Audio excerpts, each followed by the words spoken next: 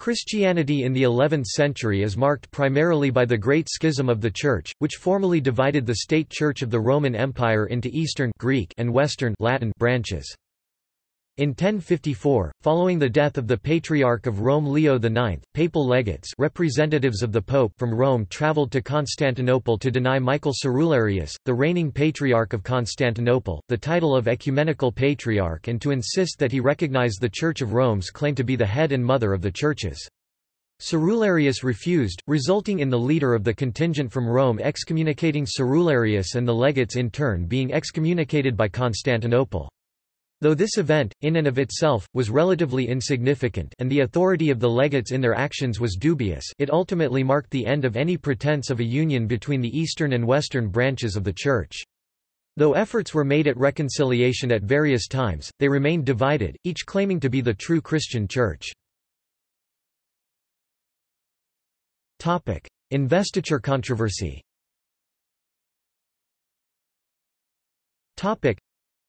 the first major phase of the struggle between church and state in medieval Europe was marked by the investiture controversy between emperor and pope over the right to make church appointments.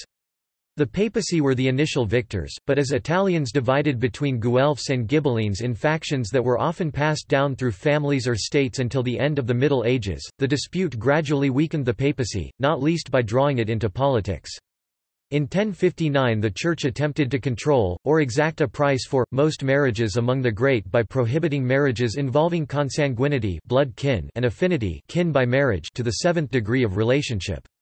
Under these rules, almost all great marriages required a dispensation. The rules were relaxed to the fourth degree in 1215. The investiture controversy, or lay investiture controversy, was the most significant conflict between secular and religious powers in medieval Europe. It began as a dispute in the 11th century between the Holy Roman Emperor Henry IV, and Pope Gregory VII concerning who would appoint bishops investiture. The end of lay investiture threatened to undercut the power of the empire and the ambitions of noblemen for the benefit of church reform. Bishops collected revenues from estates attached to their bishopric. Noblemen who held lands hereditarily passed those lands on within their family. However, because bishops had no legitimate children, when a bishop died it was the king's right to appoint a successor. So, while a king had little recourse in preventing noblemen from acquiring powerful domains via inheritance and dynastic marriages, a king could keep careful control of lands under the domain of his bishops. Kings would bestow bishoprics to members of noble families whose friendship he wished to secure. Furthermore, if a king left a bishopric vacant, then he collected the estate's revenues until a bishop was appointed, when in theory he was to repay the earnings. The infrequence of this repayment was an obvious source of dispute. The Church wanted to end this lay investiture because of the potential corruption, not only from vacant sees but also from other practices such as simony. Pope Gregory VII issued the Dictatus Papae, which declared that the pope alone could appoint or depose bishops or translate them to other sees. Henry IV's rejection of the decree led to his excommunication and a ducal revolt. Eventually, Henry received absolution after dramatic public penance barefoot in alpine snow and cloaked in a hairshirt, though the revolt and conflict of investiture continued. Likewise, a similar controversy occurred in England between King Henry I and Saint Anselm, Archbishop of Canterbury, over investiture and ecclesiastical revenues collected by the king during an episcopal vacancy. The English dispute was resolved by the Concordat of London in 1107, where the king renounced his claim to invest bishops but continued to require an oath of fealty from them upon their election. This was a partial model for the Concordat of Worms Pactum Calixtinum, which resolved the imperial investiture controversy with a compromise that allowed secular authorities some measure of control but granted the selection of bishops to their cathedral canons. As a symbol of the compromise, lay authorities invested bishops with their secular authority symbolized by the lance, and ecclesiastical authorities invested bishops with their spiritual authority symbolized by the ring and the staff. Theology. Topic. Topic. Western theology before scholasticism. Topic With the division and decline of the Carolingian Empire, notable theological activity was preserved in some of the cathedral schools that had begun to rise to prominence under it, for instance at Auxerre in the 9th century or Chartres in the 11th. Intellectual influences from the Arabic world, including works of classical authors preserved by Islamic scholars, percolated into the Christian West via Spain, influencing such theologians as Gerbert of Aurillac, who went on to become Pope Sylvester II and mentor to Otto III. Otto was the fourth ruler of the Germanic Ottonian Holy Roman Empire, successor to the Carolingian Empire. With hindsight, one might say that a new note was struck when a controversy about the meaning of the Eucharist blew up around Berengar of Tours in the 11th century, hints of a new confidence in the intellectual investigation of the faith that perhaps foreshadowed the explosion of theological argument that was to take place in the 12th century. Notable authors include Fulbert of Chartres died 1028, Berengar of Tours c.999-1088 Lanfranc died 1089 Topic. Monasticism. Topic one of the major developments in monasticism during the 11th century was the height of the Cluniac reforms, which centered upon Cluny Abbey in Burgundy, which controlled a large centralized order with over 200 monasteries throughout western Christendom. Cluny championed a revived papacy during this century and encouraged stricter monastic discipline with a return to the principles of the Benedictine rule. Cluny Abbey promoted art and literature, and the liturgy at the Romanesque Abbey Church was an ornate formal affair dedicated to glorifying God. Together with the revived papacy, Cluny worked for greater devotion among men in the Church. Towards the end of the 12th century, the wealth and power of Cluny was criticized by many monastics in the Church, especially those that broke from the Cluniac order to form the Cistercians, who devoted themselves with much greater rigor to manual labor and severe austerity. Spread of Christianity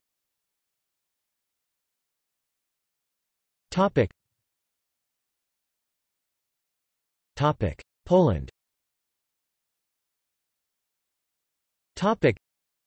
The spread Christianity was reversed temporarily in Poland, as the pagan reaction in Poland saw many churches and monasteries burned, and priests killed.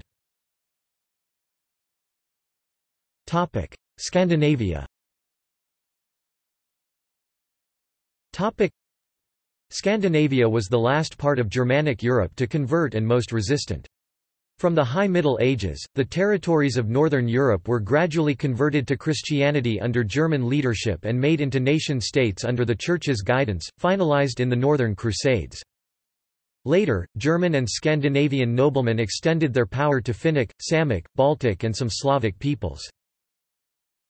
Migrations of peoples, although not strictly part of the migration age, continued beyond 1000, marked by Viking, Magyar, Turkic and Mongol invasions, also had significant effects, especially in Eastern Europe. Goths Many Goths converted to Christianity as individuals outside the Roman Empire. Most members of other tribes converted Christian when their respective tribes settled within the empire, and most Franks and Anglo-Saxons converted a few generations later. During the later centuries following the fall of Rome, as the Roman Church gradually split between the dioceses loyal to the Patriarch of Rome in the west and those loyal to the other patriarchs in the east, most of the Germanic peoples excepting the Crimean Goths and a few other eastern groups gradually became strongly allied with the Western Church, particularly as a result of the reign of Charlemagne. East-West Schism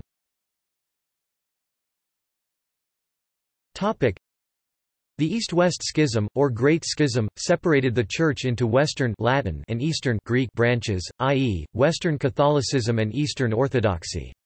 It was the first major division since certain groups in the East rejected the decrees of the Council of Chalcedon see Oriental Orthodoxy and was far more significant. Relations between East and West had long been embittered by political and ecclesiastical differences and theological disputes. There were doctrinal issues like the Filioque clause and the authority of the Pope involved in the split, but these were exacerbated by cultural and linguistic differences between Latins and Greeks. Prior to that, the eastern and western halves of the Church had frequently been in conflict, particularly during the periods of iconoclasm and the Photian Schism. 1 The Orthodox East perceived the papacy as taking on monarch-type characteristics that were not in line with the Church's historical tradition. The official schism in 1054 was the excommunication of Patriarch Michael Cerularius of Constantinople, followed by his excommunication of papal legates. Both groups are descended from the early Church, both acknowledge the apostolic succession of each other's bishops and the validity of each other's sacraments. Though both acknowledge the primacy of the Bishop of Rome, Eastern Orthodoxy understands this as a primacy of honor with limited or no ecclesiastical authority in other dioceses. The Orthodox East perceived the papacy as taking on monarch-type characteristics that were not in line with the Church. S tradition Ecclesiology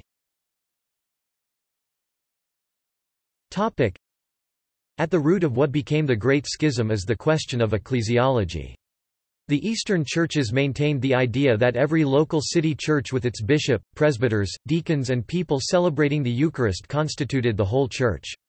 In this view called Eucharistic ecclesiology or more recently holographic ecclesiology, every bishop is St. Peter's successor in his church, the Church, and the churches form what Eusebius called a common union of churches.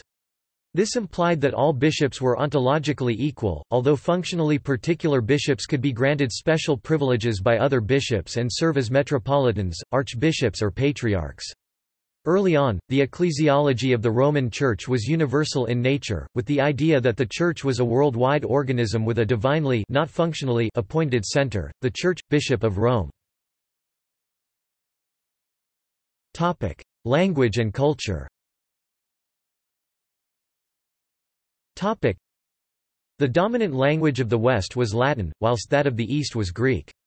Soon after the fall of the Western Empire, the number of individuals who spoke both Latin and Greek began to dwindle, and communication between East and West grew much more difficult. With linguistic unity gone, cultural unity began to crumble as well. The two halves of the Church were naturally divided along similar lines, they developed different rites and had different approaches to religious doctrines. Papal supremacy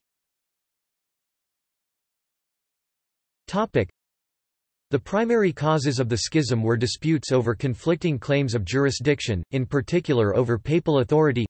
Pope Leo IX claimed he held authority over the four Eastern Patriarchs and over the insertion of the Filioque clause into the Nicene Creed by the Western Patriarch in 1014. Eastern Orthodoxy states that the 28th canon of the Council of Chalcedon explicitly proclaimed the equality of the bishops of Rome and Constantinople and that it established the highest court of ecclesiastical appeal in Constantinople.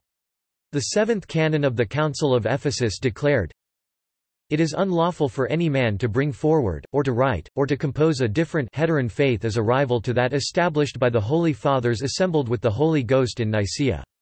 But those who shall dare to compose a different faith, or to introduce or offer it to persons desiring to turn to the acknowledgement of the truth, whether from heathenism or from Judaism, or from any heresy whatsoever, shall be deposed, if they be bishops or clergymen, bishops from the episcopate and clergymen from the clergy, and if they be laymen, they shall be anathematized. Eastern Orthodoxy also observes that this canon of the Council of Ephesus in 431 explicitly prohibited modification of the Nicene Creed drawn up by the First Council of Nicaea in 300 325 and modified by the Second Ecumenical Council in 381.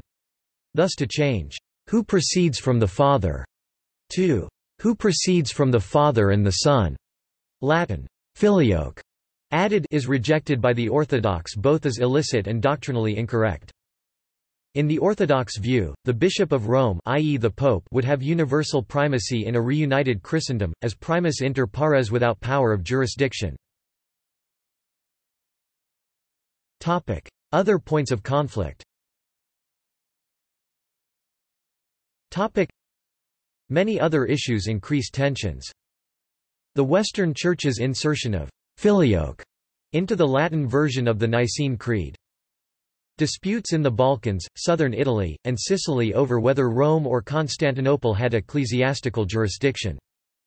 As a result of the Muslim conquests of the territories of the Patriarchates of Alexandria, Antioch and Jerusalem, only two rival powerful centers of ecclesiastical authority, Constantinople and Rome, remained. Certain liturgical practices in the West that the East believed represented illegitimate innovation, the use of unleavened bread for the Eucharist, for example see Azymite. Celibacy among Western priests both monastic and parish, as opposed to the Eastern discipline whereby parish priests could be married men. Mutual excommunication of 1054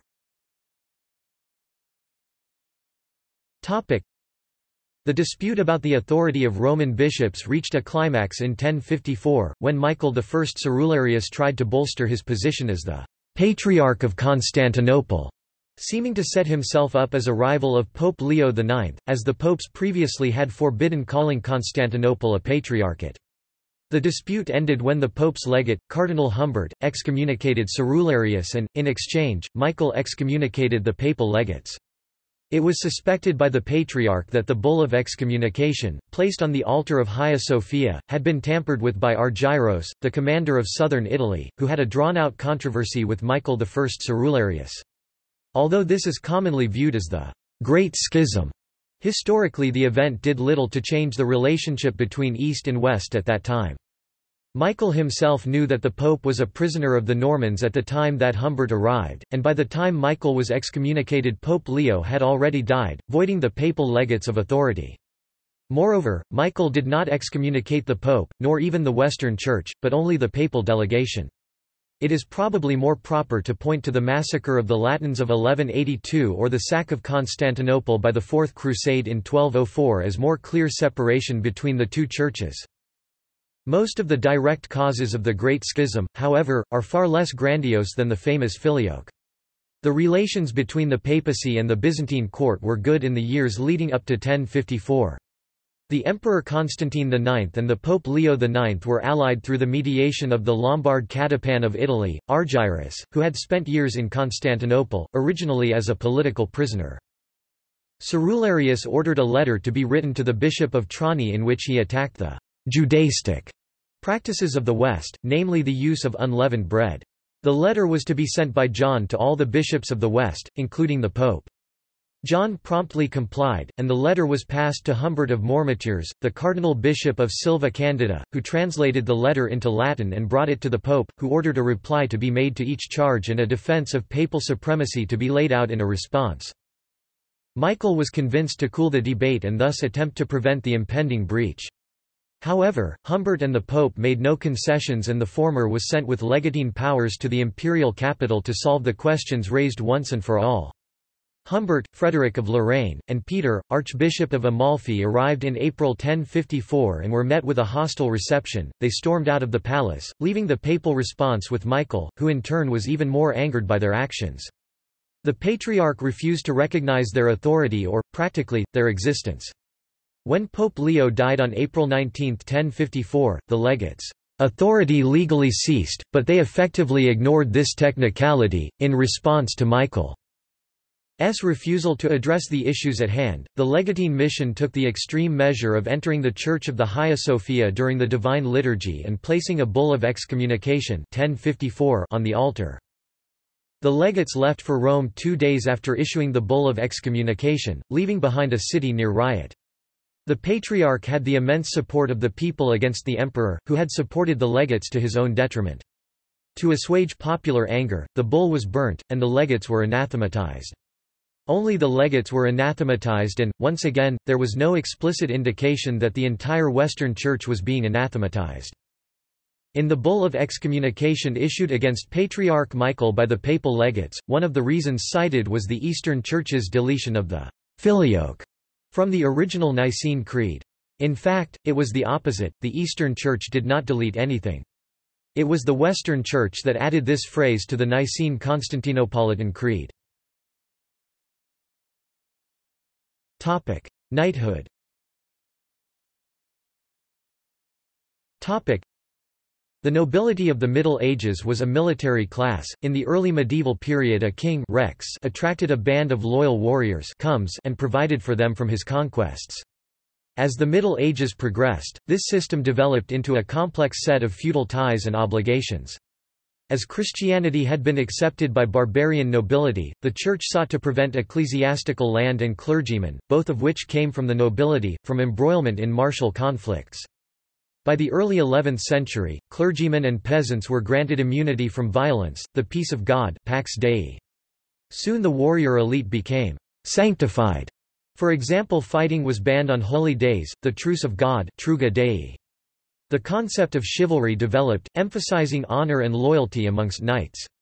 With the advent of crusades, holy orders of knights were established who perceived themselves as called by God to defend Christendom against Muslim advances in Spain, Italy, and the Holy Land, and pagan strongholds in Eastern Europe. This activity brought considerable wealth and power. Wealthy lords and nobles would give the monasteries estates in exchange for the conduction of masses for the soul of a deceased loved one. Though this was likely not the original intent of Benedict, the efficiency of his Cenobitic rule in addition to the stability of the monasteries made such estates very productive. The general monk was then raised to a level of nobility, for the serfs of the estate would tend to the labor, while the monk was free to study. The monasteries thus attracted many of the best people in society, and during this period the monasteries were the central storehouses and producers of knowledge. Crusades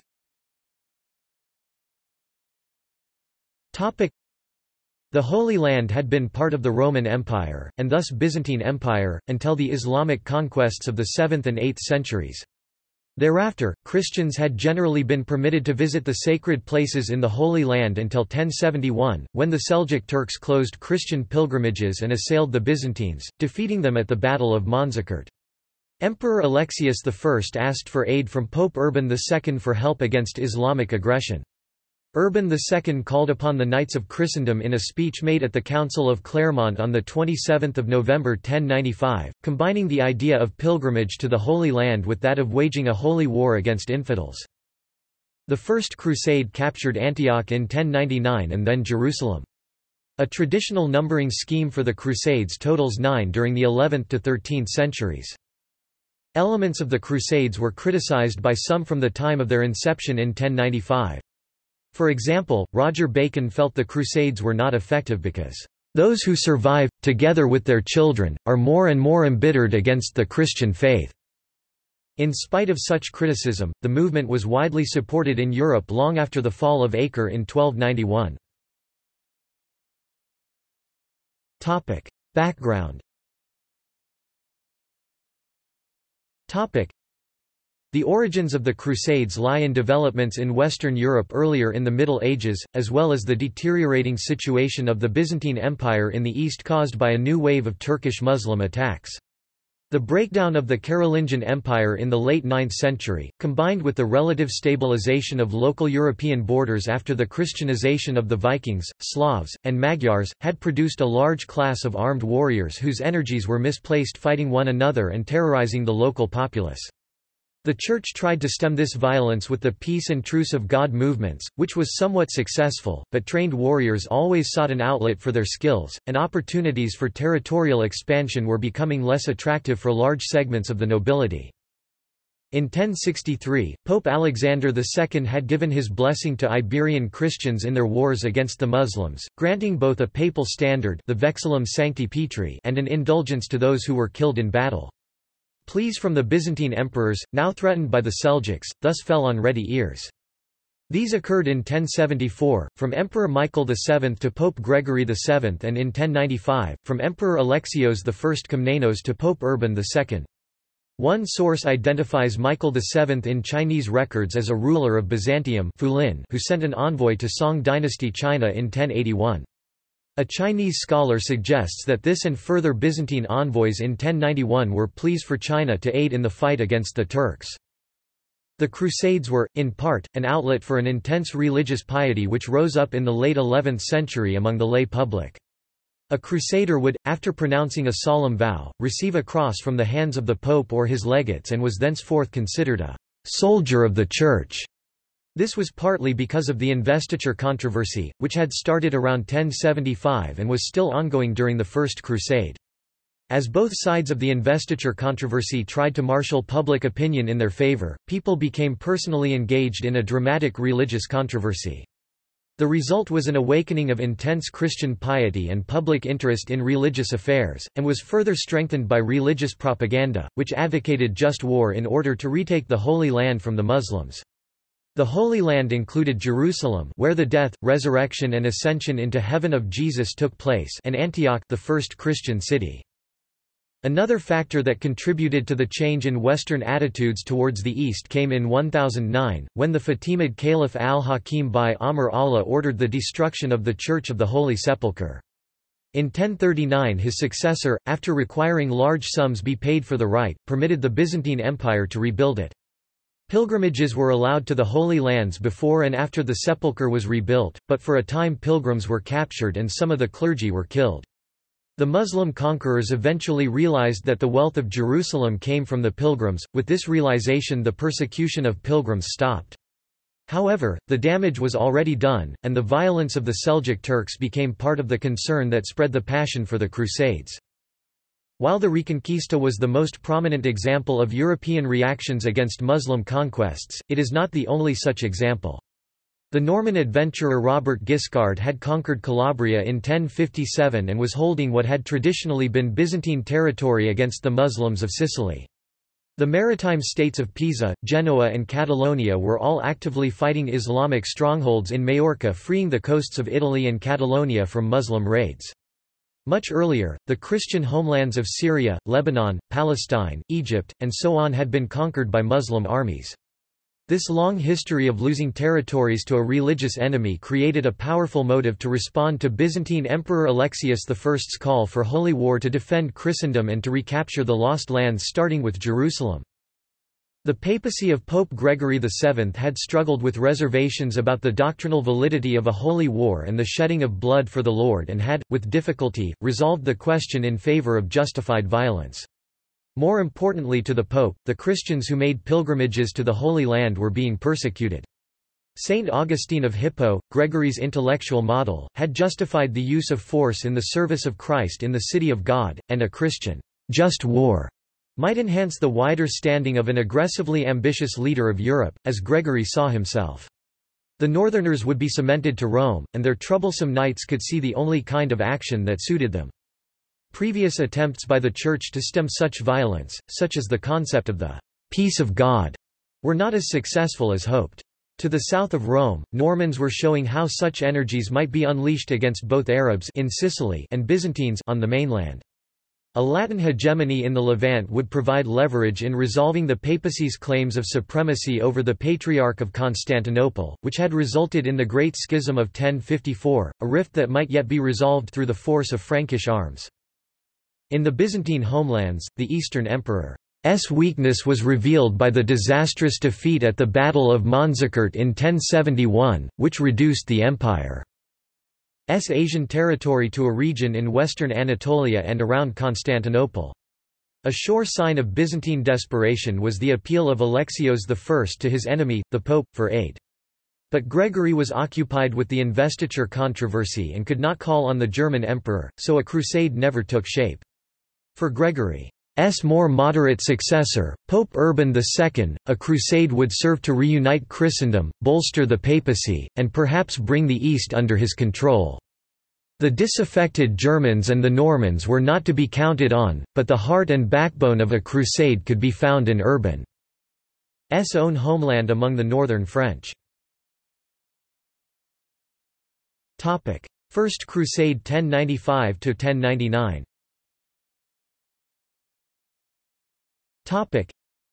In March 1095 at the Council of Piacenza, ambassadors sent by Byzantine Emperor Alexius I called for help with defending his empire against the Seljuk Turks.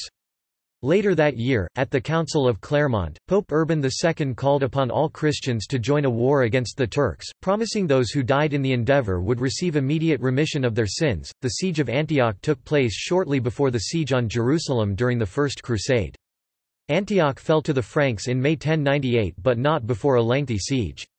The ruler of Antioch was not sure how the Christians living within his city would react, and he forced them to live outside the city during the siege, though he promised to protect their wives and children from harm, while Jews and Muslims fought together. The siege only came to end when the city was betrayed and the Franks entered through the water gate of the town causing the leader to flee. Once inside the city, as was standard military practice at the time, the Franks then massacred the civilians, destroyed mosques and pillaged the city. The Crusaders finally marched to the walls of Jerusalem with only a fraction of their original forces. Siege of Jerusalem The Jews and Muslims fought together to defend Jerusalem against the invading Franks. They were unsuccessful though and on 15 July 1099 the Crusaders entered the city. Again, they proceeded to massacre the remaining Jewish and Muslim civilians and pillaged or destroyed mosques in the city. One historian has written that the isolation, alienation and fear felt by the Franks so far from home helps to explain the atrocities they committed, including the cannibalism which was recorded after the siege of Marat in 1098. The Crusaders also tried to gain control of the city of Tyre but were defeated by the Muslims. The people of Tyre asked Zahir al-Din Atabek, the leader of Damascus, for help defending their city from the Franks with the promise to surrender Tyre to him. When the Franks were defeated the people of Tyre did not surrender the city, but Zahir al-Din simply said What I have done I have done only for the sake of God and the Muslims, nor out of desire for wealth and kingdom. After gaining control of Jerusalem the Crusaders created four Crusader states, the Kingdom of Jerusalem, the County of Edessa, the Principality of Antioch and the County of Tripoli. Initially, Muslims did very little about the Crusader states due to internal conflicts. In the Kingdom of Jerusalem at most 120,000 Franks predominantly French-speaking Western Christians ruled over 350,000 Muslims, Jews, and native Eastern Christians. Topic. Aftermath Topic. On a popular level, the First Crusades unleashed a wave of impassioned, personally felt pious Christian fury that was expressed in the massacres of Jews that accompanied the movement of the Crusader mobs through Europe, as well as the violent treatment of schismatic Orthodox Christians of the East. During many of the attacks on Jews, local bishops and Christians made attempts to protect Jews from the mobs that were passing through. Jews were often offered sanctuary in churches and other Christian buildings. Timeline Topic. Topic. See also Topic. Topic. References Topic. Topic. Further reading Topic. Esler, Philip F. The Early Christian World. Routledge 2004. ISBN 0-415-33312-1. White, L. Michael. From Jesus to Christianity. HarperCollins 2004. ISBN 0-06-052655-6. Freedman, David Noel ed. Eerdmans Dictionary of the Bible. W.M. B. Eerdmans Publishing 2000. ISBN 0-8028-2400-5. Pelikan, Yaroslav Jan. The Christian Tradition, The Emergence of the Catholic Tradition 100 600. University of Chicago Press 1975. ISBN 0-226-65371-4. Topic: External links. Topic: Schaff's The Seven Ecumenical Councils